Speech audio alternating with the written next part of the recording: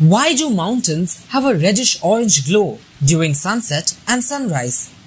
Well, that's exactly what we'll be tackling in this video. For one, it's called an alpenglow. But why does it occur? Let's see. To understand alpenglows, we need to understand what happens during sunrise and sunset.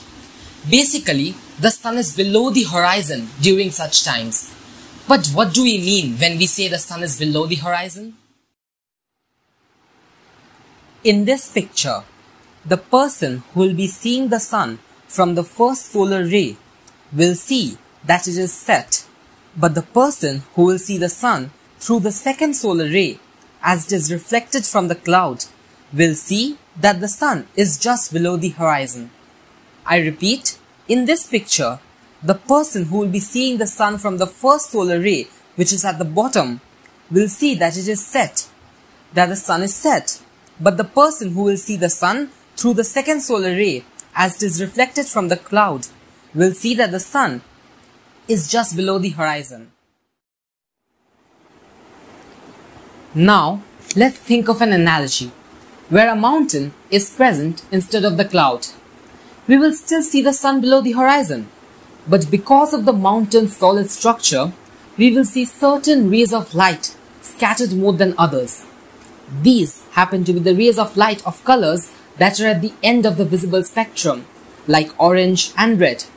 This is why orange and red light are scattered more in such a scenario, and this is the reason why alpenglows are formed.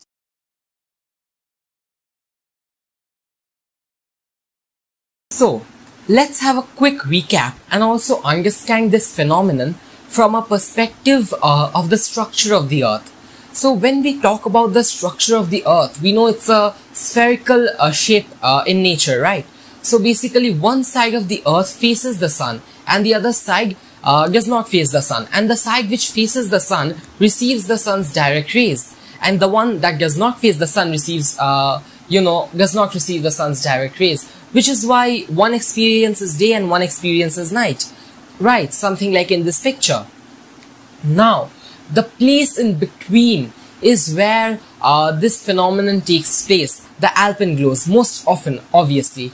Now, here in these places in between, uh, you know, uh, somewhere in the center of the earth, not in the sense of uh, like the equator, but rather longitudinally. Uh, in that sense, you will see that there are two rays of the sun, as we discussed, that uh, one person might see.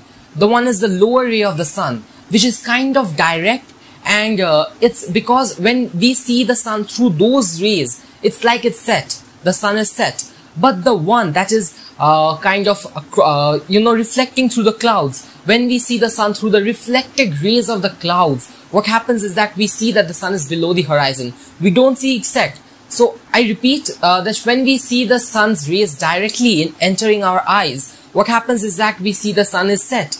But when these rays reflect from the clouds, we see that the sun is below the horizon. This uh, happens during dawn, dusk. These are the times which uh, these are the times that it happens, right? And now instead of the cloud, uh, when this phenomenon takes place through the reflection from the uh, mountains, what happens is that the mountains have a very solid structure, whereas the clouds have a very, uh, you know, they are water vapors basically. So therefore, the mountains they kind of uh, when they reflect the uh, reflect the white light, they uh, sometimes scatter the light, and orange and red light are most often scattered, and this scattering causes uh, the mountains to have this orange red glow, which is called the alpenglows, of course. Thanks for watching. Uh, see you in my next video. Don't forget to like, share, and subscribe.